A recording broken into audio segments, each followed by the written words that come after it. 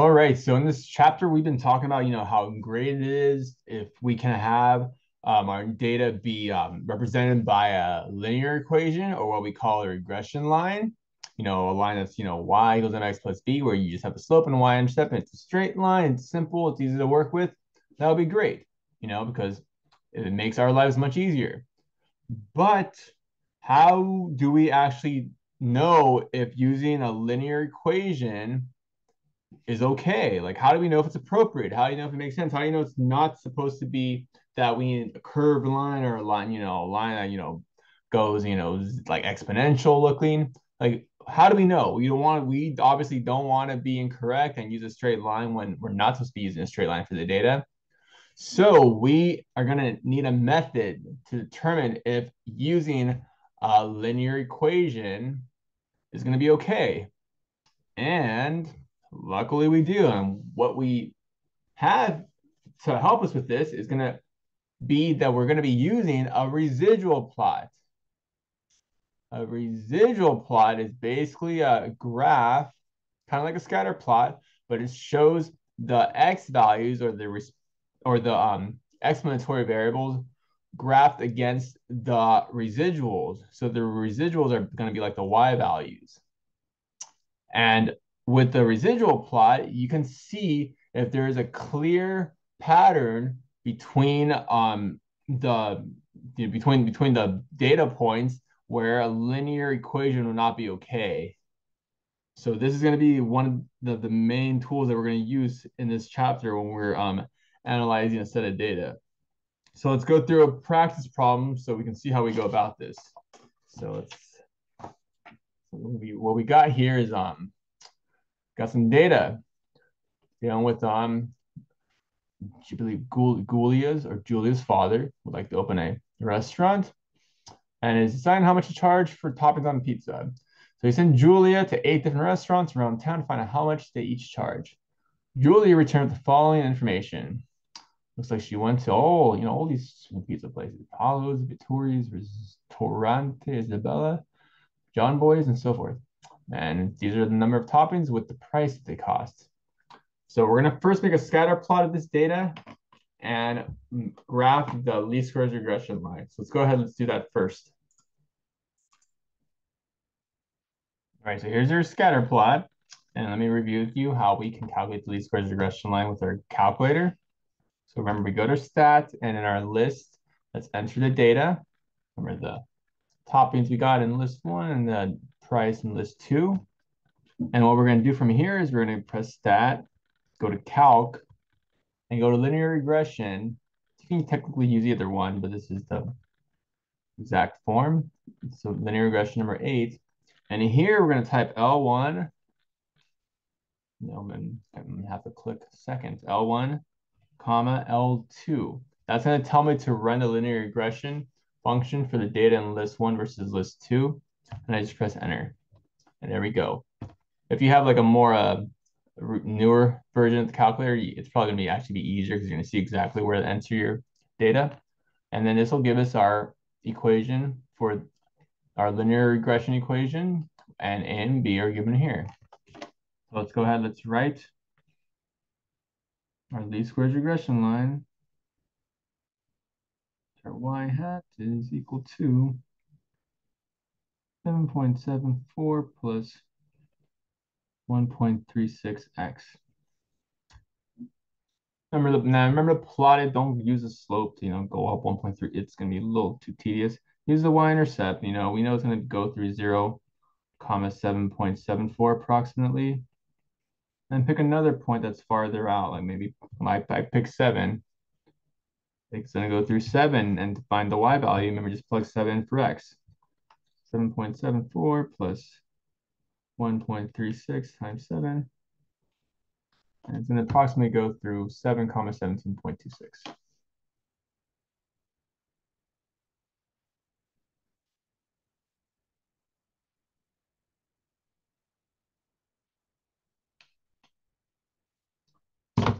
that. Let me go ahead and plot that. Like so.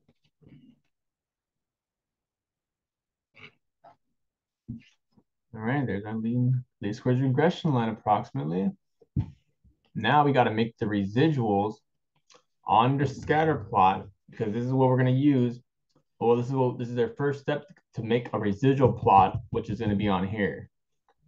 So we're going to make a residual plot of the data on the second grid here. And what we're going to need to first do, obviously, is calculate the residuals. So we're going to recalculate the residuals for each of these values. Remember, I like to make an extra column. Remember, these are these are our x values. These are the y's. And we're going to make another column for like the predicted y. Predicted y. These are the actual y. Then from there, I make another column next to it where I get the residual. Residual, because the residuals are going to be the actual y minus predicted. So the y minus the y hat.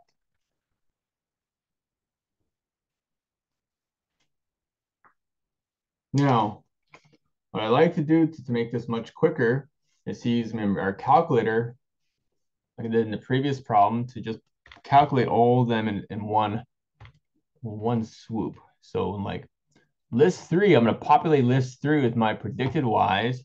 I'm going to go to list three, but highlight actual list three. And on list three, I'm going to enter the equation for y hat.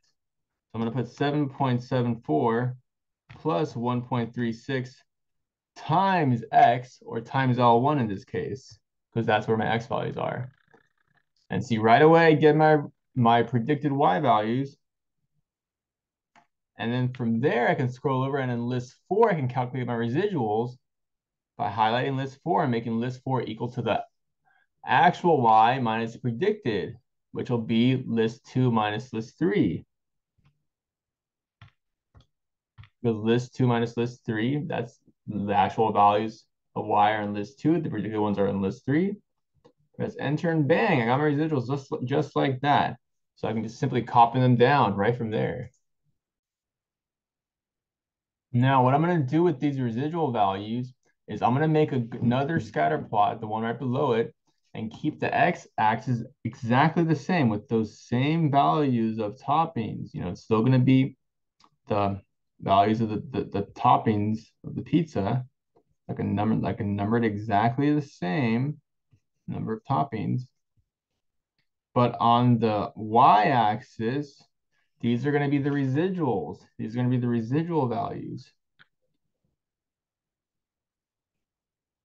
Residuals. And I'm going to essentially plot the these values here as my y. These are going to be my y values. And you see you have some negative, some positive. So you're typically going to make like a center axis at zero. Somewhere like right over here. It's gonna be kind of weird at first when you're not. Let me actually make a make a, make pink. This is actually like think of it as like the x-axis in a way.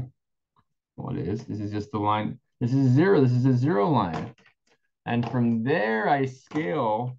You know, you know, in the you know according to like so that way I can fit all these values. So I'm gonna scale up about by by 0.5, so I can fit all those. So I go up positives, you know, in this direction. And then below that, I go in the other direction, negative, just like a regular, and it's a regular um, graph. I didn't miss one for a second.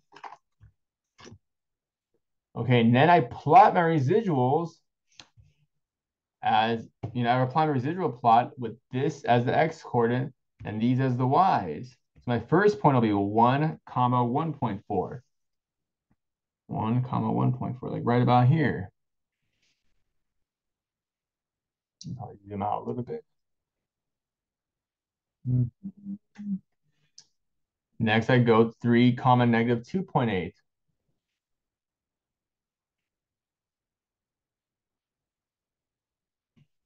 Then I go uh, 4 comma point, 0 0.8. 6 comma negative 0.9, 3 comma 0.7,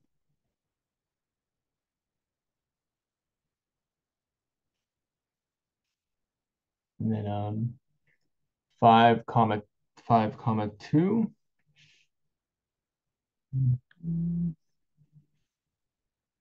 Then 0 comma 0 0.3. Then 2 comma negative 1.5. And this is my residual plot. This is my residual plot. Now, now what's the point of this? Well, what this allows us to see more easily is if there is going to be like a like an, a pattern essentially. We basically want it so that there is no obvious pattern in the residual plot because when there is no obvious pattern in the residual plot, that means this linear equation will be appropriate because that means it's basically not it's not biasing the data. It's not like going like um you know completely below a set and above. It's not doing anything systematic. It's not systematically biasing the values. It's not. It, it's basically a good line that approximate the, that approximates the points because you know it goes through the through through all of them, through the middle of all of them.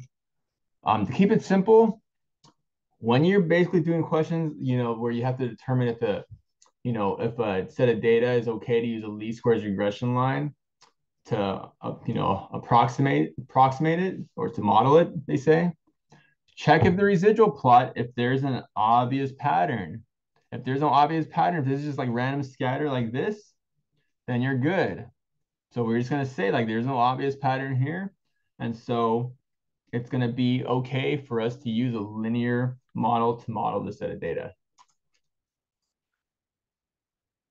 So typically I will you, usually have my students memorize or write their and to write their explanation in some form like this.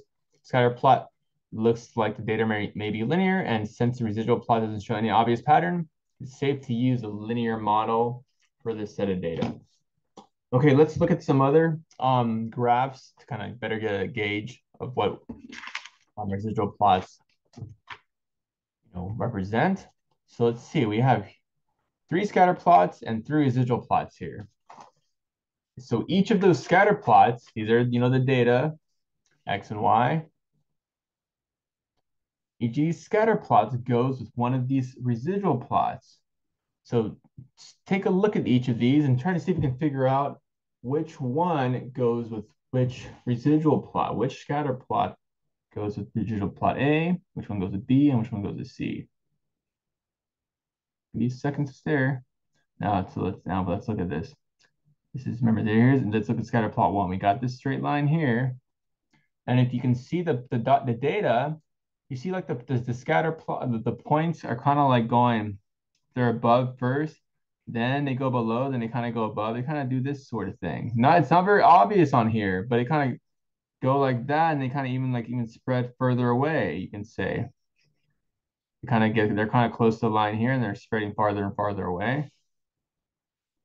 And so this, so one may maybe, maybe look, maybe look at it like this, you can see that this is going to go with residual plot C. Scatter plot one to go with residual plot C because you see how the points are first close to the residual or first close to the least squares regression line, but then they're getting farther and farther away. So it's kind of like maybe if I make a triangle, kind of it's a little clear. See that? It's kind of doing that whole thing. But a residual plot makes it much easier to see that. Now let's look at scatter plot two. Scatter plot two looks like, uh, you know, stuff, you know, above, below, little. Now this is random scatter. If you can kind of gauge exactly which one it would be, but it would be um, residual plot B. There's, you know, it's kind of just points above, points below, nothing, you know, systematic. There's no real pattern going on here. Now, in the third scatter plot, you can see the points first kind of start above and then they kind of tend to tuck low below. There's like nothing here. You see how they kind of group themselves below? Then they go above. This is actually an example where uh, a curved line would be better for this data. It's again, it's not obvious from from just looking at the points that a, that a straight line to be okay, but see the residual plot's much more clear. You can see this pattern here. So that goes to residual plot A. So that's the that's the um that's the idea behind residual plots. It makes it much easier to see the patterns in a scatter plot. So if, if only one of these would be okay to use a regression line for the data, it would have to be the one in scatter plot two. This would be the okay one because there's no there's no obvious pattern here. Scatter plot two would be the best one because the residual plot shows no obvious pattern.